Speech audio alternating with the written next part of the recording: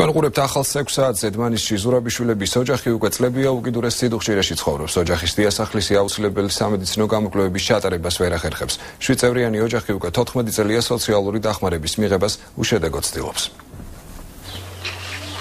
დმანისის მუნიციპალიტეტის სოფელ მაშავერის მცხოვრები მერაბ ზურაბიშვილი უკვე 14 წელია ადგილობრივი გამგეობიდან სოციალური დახმარების მიღებას უშედეგოდ ცდილობს. მისი შვიდსულიანი ოჯახის ერთადერთი შემოსავალი მუშის დღიური ქირა, რომელსაც თანასოფლელების მიწის ნაკვეთების დამუშავებისთვის იღებს.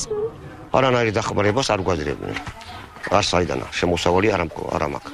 არ მუშაობა არაფერი რაღაცა და არც ნაკვეთი. და ვის მეუმართო მეტი, რა ვიცი. გამგეობას მეუმართე რაღაცა, ყველაფერი რაღაცა. უნდა მეტი საშუალება არ მაქვს რაღაცა რა.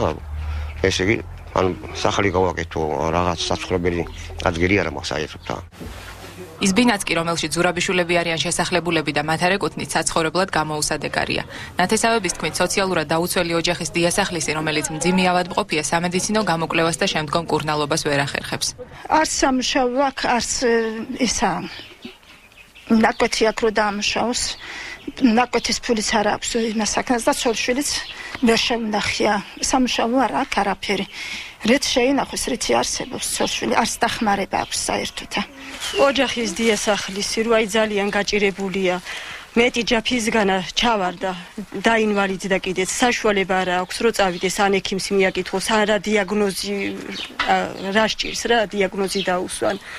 რა ვიცი ძალიან იმუშევრად არიან ან ვის ეხმარებიან ან ვისა რომ ლუკმა პური იშოვოს და ბავშვები დაარჩინოს.